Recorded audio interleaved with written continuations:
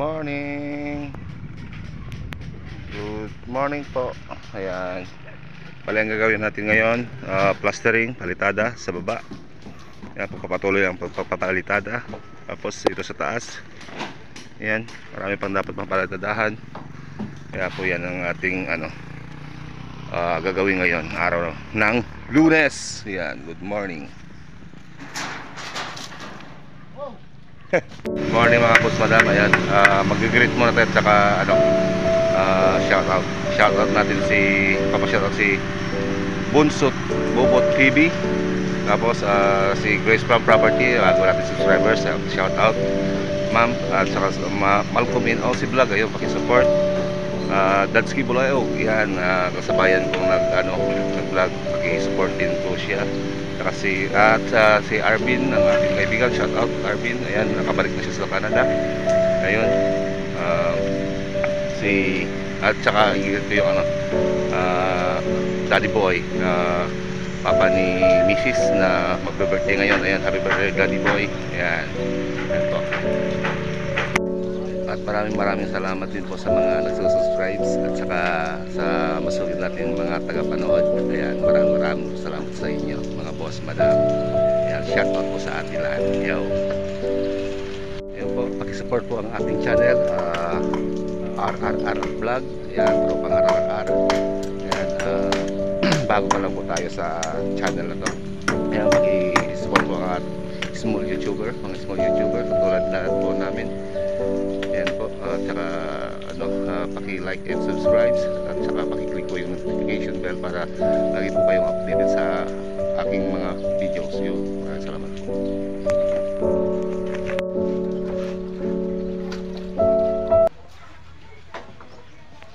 Yan, pinadidiligan natin para mas madaling tumuyo. Mas madaling ma-cure umaga tanghali natin didiligan habang habang mga iba nagliliot ng ano papalitadahan nila yan puro palitada Si Toto at saka si Sani dito si Moy Moy kanya-kanyang pwesto. Tapos si Daoming Su. Daoming Su i, dito naman sa labas ng water station. Yan prepare lang yung mga tungtungan nila. Tapos dito sa loob sa kitchen bandang kitchen dito si Brian tsaka si Master Jerong. Ayan nya si Joel nag uh,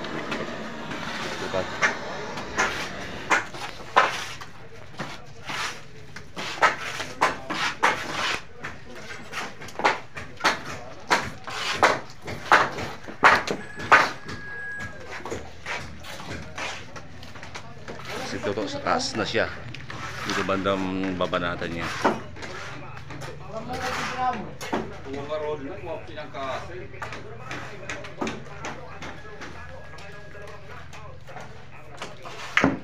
puro palitada.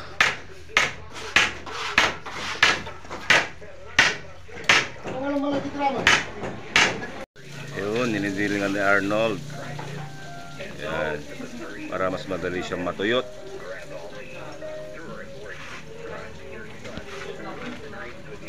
Arnold, napasaling yung iba ba? Ha? Napasaling yung iba ba?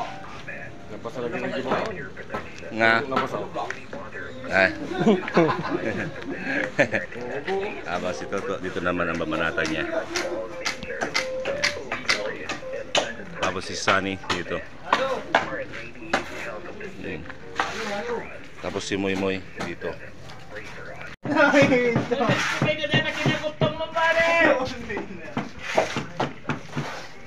Yan. Mabilis talaga si Jerong. Mabilis kumain. Mabilis kumain, lalo na kung kaldereta. Kaldereta ulit?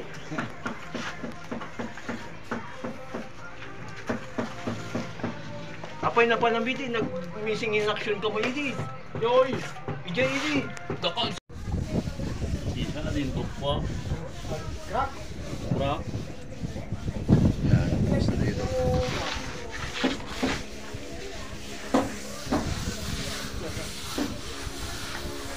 Tiga mo.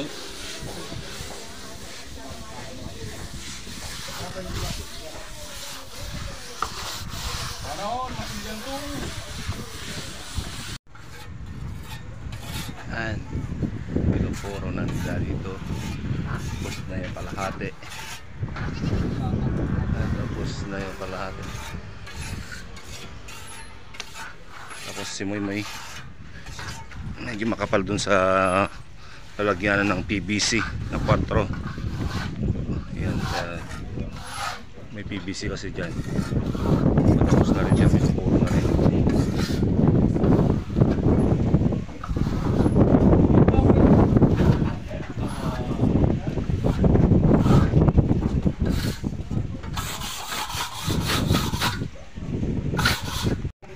Tapos, ayan si Toto, kaumpisa pa lang kasi tungtungan niya para safety. Ayan o, yung sa baba. Hirap kung ano lang. Lalo na taas sa kanya. Ayan. Tapos si Brian sinisipat niya yung yung i-layout niya dito. Natapos niya. Nilayot si masakit. Tapos niya, natapos na niya dito. Mag-isa lang siya.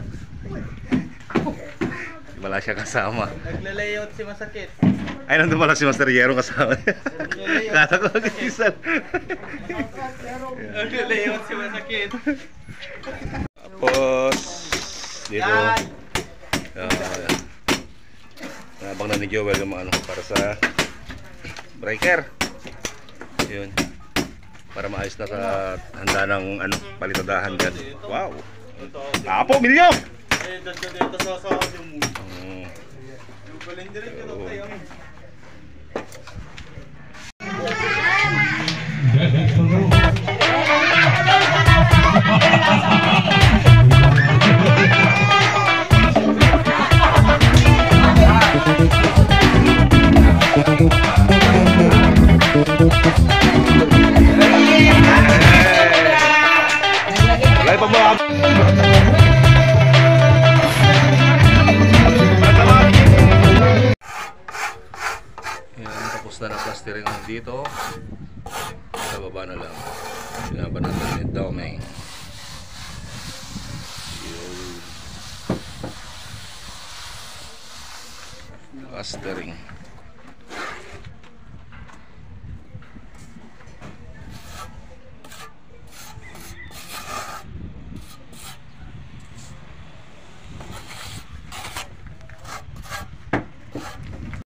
Tapos si Moy ang binabanatan niya dito sa may powder room. Yan, kanya-kanyang toka, kanya-kanyang pwesto. Paikot. Powder room ng mga trabador dito sa water station.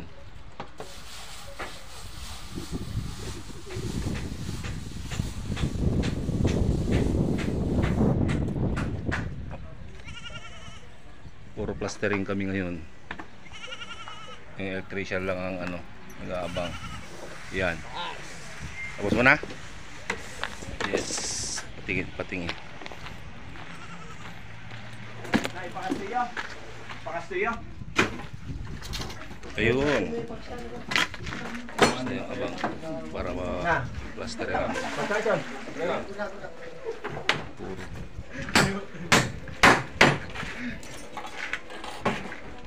dito sa taas. Tapos si Toto uh, dito sa taas na papalitada. Si well, si Sunny ayun nag-absent half day. Hindi na tuloy yan sa kanya dito sa baba. Yan may nasikaso lang sa school ng anak niya. Yan. puro plastering.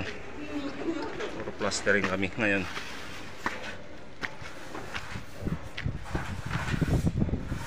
malawak na ang sinakop ni Toto Lecture lang dati. ha? limpiar lang ano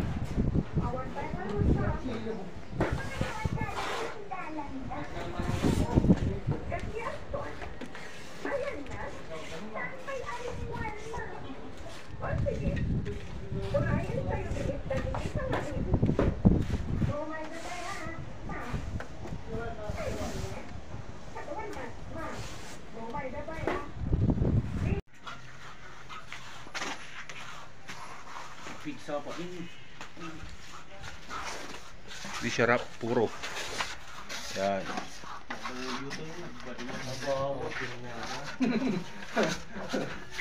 Wow, sabaw!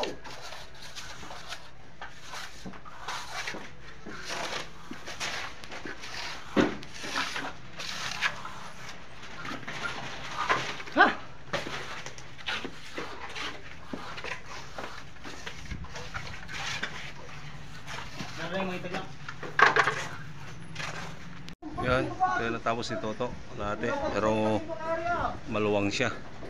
Tapos gumawa pa ng tungtungan niya kanina. Yan. Bukas dito sa baba. Sa baba naman. Tapos dun sa CR.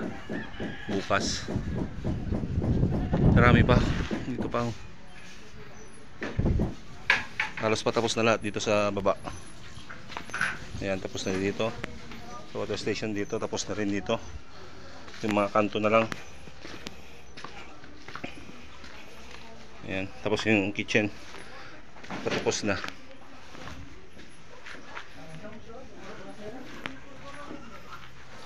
So,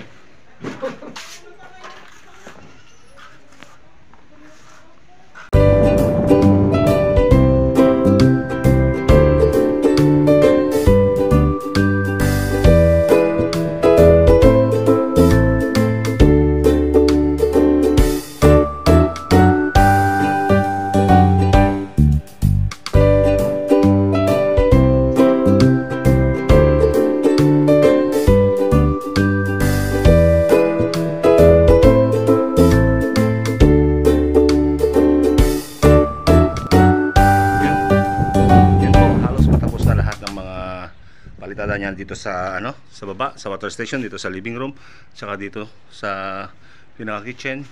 Dito na lang, tsaka diyan. Yan, ah, tapos ah, mga kanto na lang.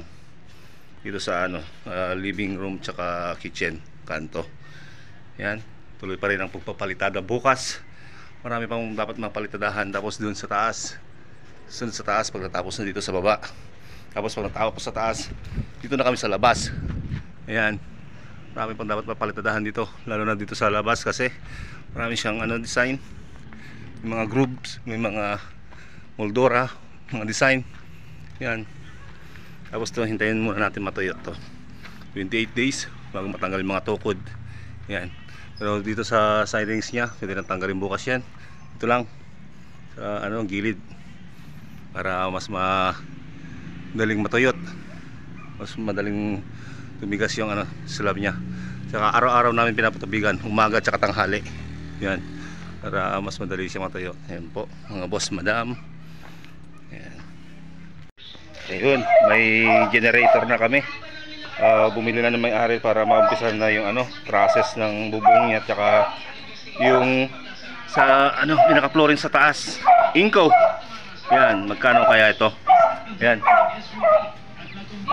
47 ang presyo niya naging 95 pero 47 610 pero may tawad pa 45 tawaran pa ng 45k yan po gagamitin namin bukas para, ayun ah, try natin startin. On. Tapos start.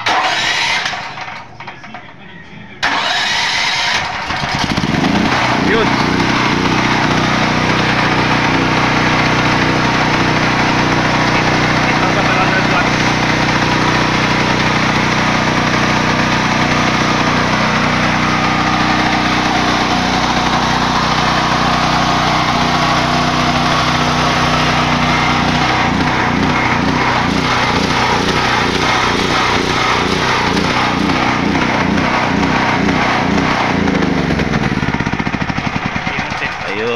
ayun di kasya